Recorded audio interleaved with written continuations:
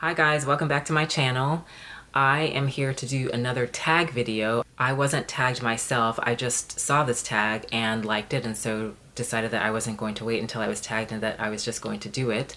And this tag is called the Anti-Luxe tag and it was started by a luxury YouTuber called Ava in the City who is British.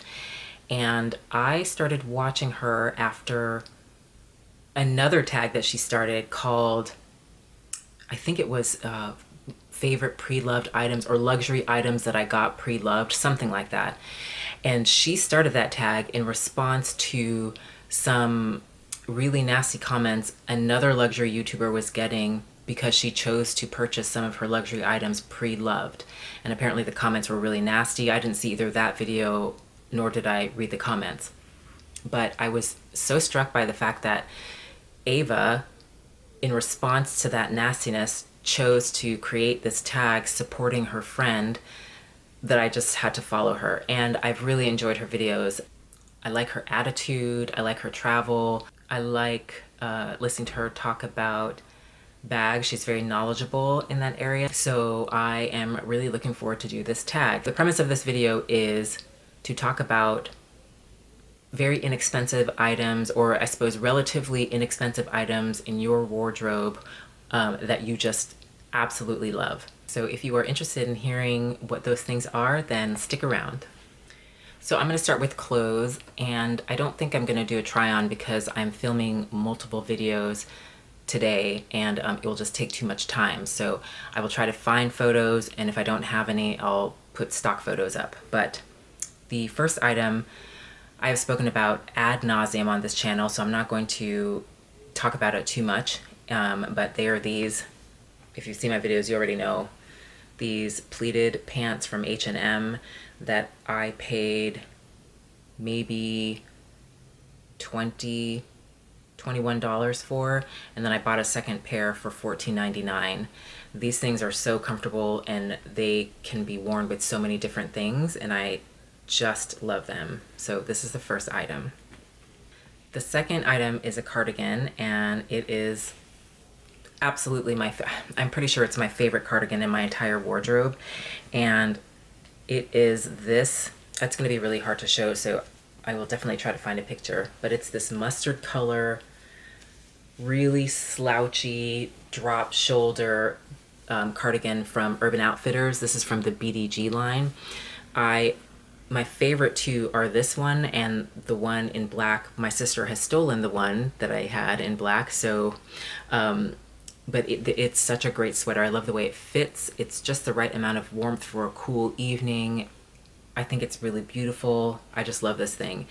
And um, I will, I can't remember the original price of this because I bought this original price, but I loved it so much that I went back to buy different colors and when I went back to, they were all on sale for something like, I mean, maybe 18 to $20, really relatively inexpensive for something that's so wonderful. The cost per wear of this sweater, pennies on the dollar. I wear this thing all the time. Come fall, you're gonna be seeing a lot of this sweater.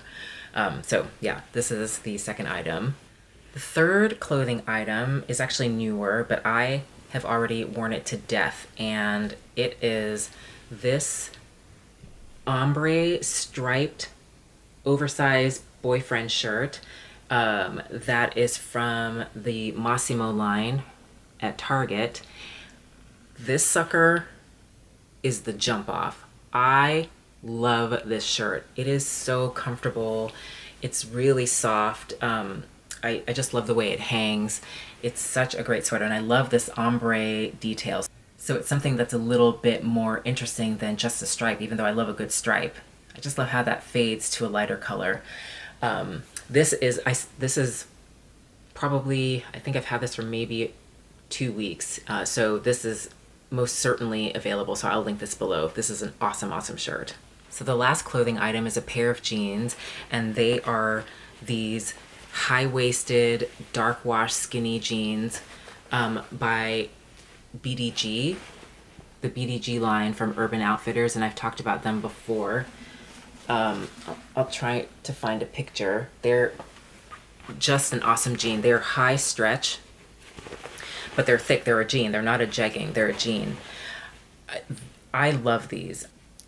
These are how I discovered that high-waisted jeans are what is best for my body type because the waist is smaller in proportion to the hips and the thighs and that's how my body is shaped. And so I don't get that dag-nabbed gap in the back. I love the way these fit. Uh, they're and they're so comfortable, and um, I tend to stock up on these when Urban Outfitters puts the BDG line on sale, and you can get the jeans for thirty nine bucks, thirty six or thirty. I think it's thirty nine dollars. I I stock up, and they last a long time. I've gone through so many of these jeans. I just haven't found any that I love as much as these. So next are shoes, and the first shoes are a pair of boots, and well actually they're two pairs of boots, but they're the same, and they're these two boots. These are the Jagger Booty, let's see, the Jagger Booty by Jeffrey Campbell for free people. And I got this one first, this gorgeous, even just looking at it, I cannot wait to wear these again. Gorgeous pink color, and I loved it so much, and they're so comfortable that I got the white ones and I got this one full price and then this one was marked down quite a bit when I got it. Um, it was on sale. I just loved it.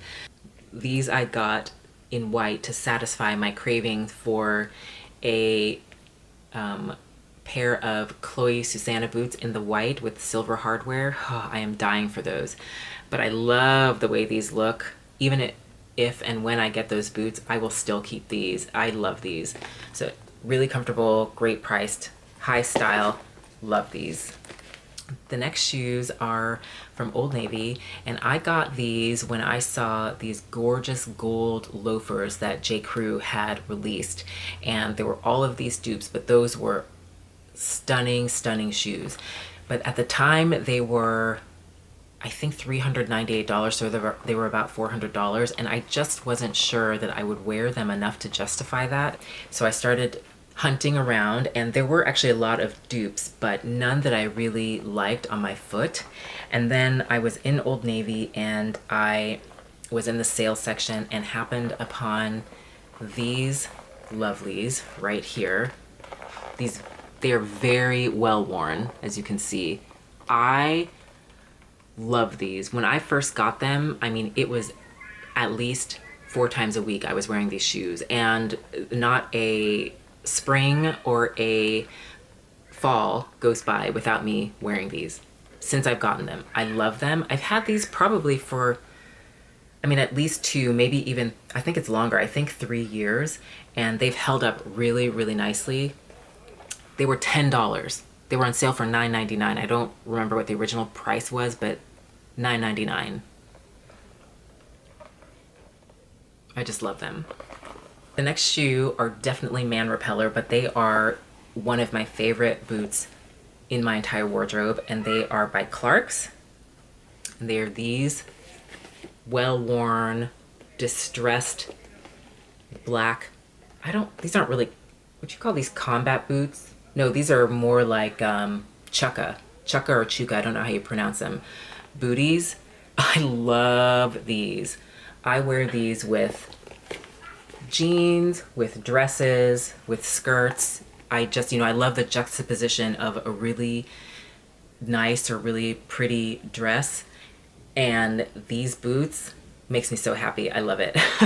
so these are awesome. I can't remember how much they were, but just even full price, Clarks don't tend to be as expensive as other boots of this style. So yeah, these are awesome. And I've had these for, I mean, I, I can't, I wish I had any concept of time, years, probably at least five years.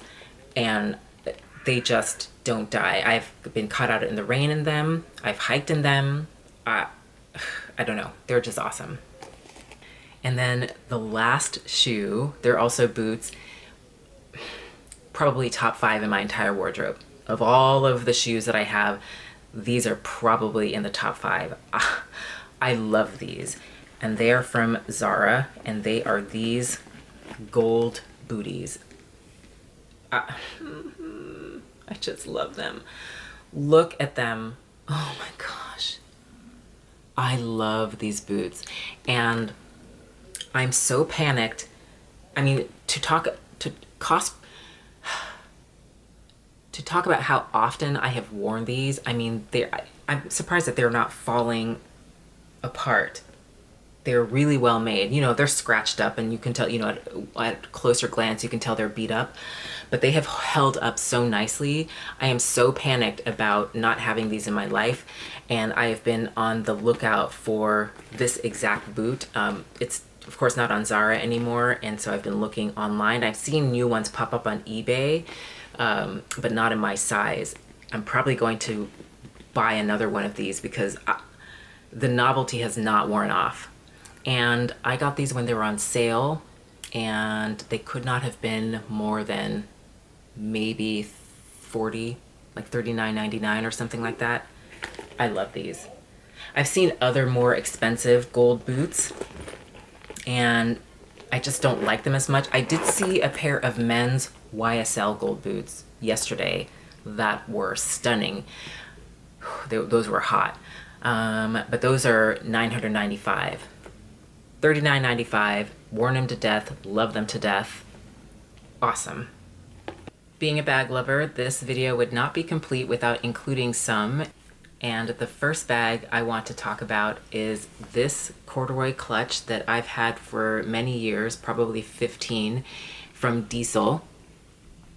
And it's a wood top corduroy bottom and I just love the way it opens. So cool. I love this. Um, like I said, I've had this for a really long time.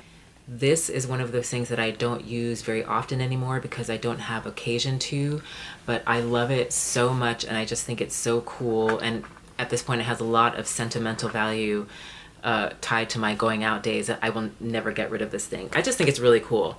I mean, I do use it every once in a while. I just love how it opens. So, and I don't remember how much this cost being so long ago, but I remember I got it on sale and um, I do remember being surprised by how affordable it was. So yeah, this is one of my absolute favorite cheap and cheerful buys. The next is a bag that almost looks vintage. It's vintage inspired and I got it at a sidewalk sale a long time ago. A lot of what I'm showing you I've had for years and years. It just goes to show you that you don't have to spend a lot of money to get good quality items. This I've had for, let's see, I'm thinking about where I was living at the time. So at least 15 years ago. And it's still going strong. Anyway, and it's this bag Oh, isn't this so cute? It's so cute. It's this velvet because I love velvet. Um, it's not a trend for me. It's a staple. It's this velvet tartan bag with a kiss lock. Um, oops. With a kiss lock. You can see it's, it is falling apart because I've had it for so long and I've used it so often. Um, and it's leather on the sides and leather on the bottom and then a leather strap. Um, and it's a shoulder bag and it sits quite comfortably under the arm. I love this thing. I, just, I think it's so beautiful.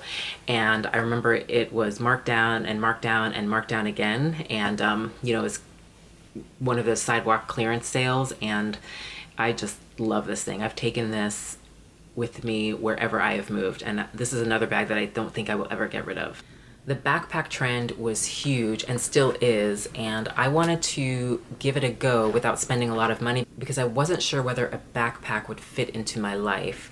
And so I got this really inexpensive bag from Zara and I've talked about this bag before. I really liked it. The, I liked the smooth lines. I liked its simplicity. I liked the gold hardware on black. It's faux leather, so it's really hard wearing. I can take this out in the rain without worry.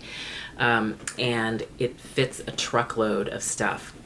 What I found by owning this bag is that though I really enjoy carrying this and I use this quite a lot, I am not much of a backpack person. I don't tend to wear this on my back because I am nervous about what's going on behind me. I tend to wear it on my shoulder so it's more of a shoulder bag.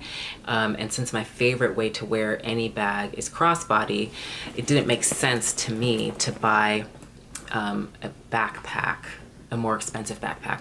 Although I know that some of them you can kind of hook, you can hook them in the straps in different ways to make them crossbody, but that just seemed like too much bother. So even though it turns out that I'm not much of a backpack person, I really like this one. So I'm gonna continue to keep this and use this.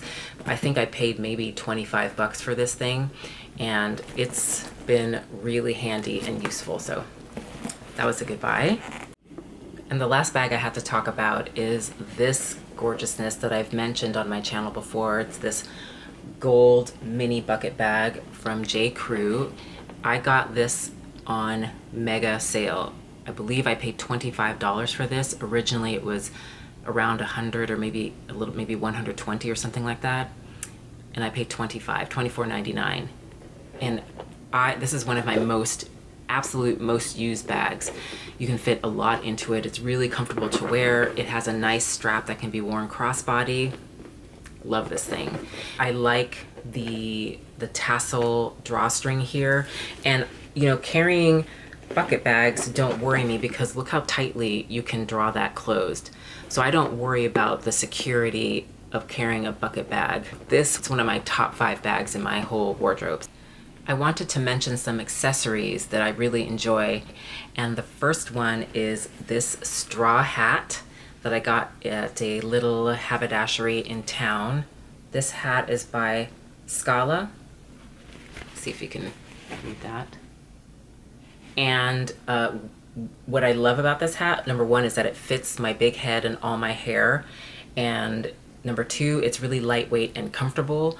There are a lot of really beautiful straw and wool hats on the market that are really, really expensive. And I think this does a beautiful job. I've traveled with it.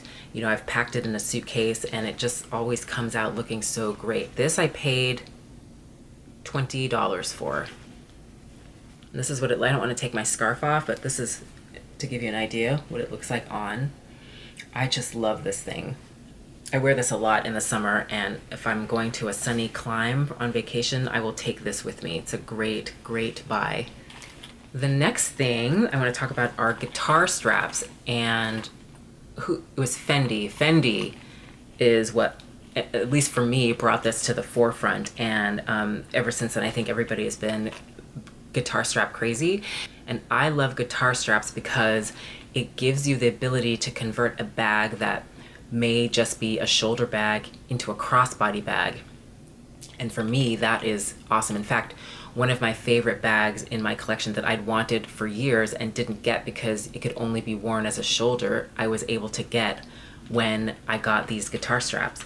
And um, I was not willing to pay, I mean, I think some of those Fendi guitar straps or back straps are going for close to two grand and I just can't do it. I have two, and these are both by Rebecca Minkoff. I have this black studded one that I just love with silver hardware, and then I have this embroidered, black embroidered one that I just think is really beautiful too. So pretty. There is a guitar strap by Alexander Wang that I have, I mean, probably for about a year and a half, I have loved. And I saw that it went on sale a couple of months ago, but I still didn't jump because even the sale price was still maybe almost $300 or something like that. And I just, I just couldn't justify it. And these are wonderful. Uh, you know, they work really well and they often go on sale. That's the other thing too. I think these retail are in the neighborhood of 95 to 120 and when they go on sale like I've seen new ones for as low as 50 new Rebecca Minkoff ones so I think that these are a spectacular alternative to really expensive guitar straps. Next are sunglasses and I have two pairs that I really really love and the first pair are by Spitfire, which I believe is a British company. And I call these my trucker sunglasses. This is what they look like from the side. They're, they're just, they're really simple. They're black with gold hardware, but I just love how thick they are. I love how thick the frame is. I love how thick the arm is.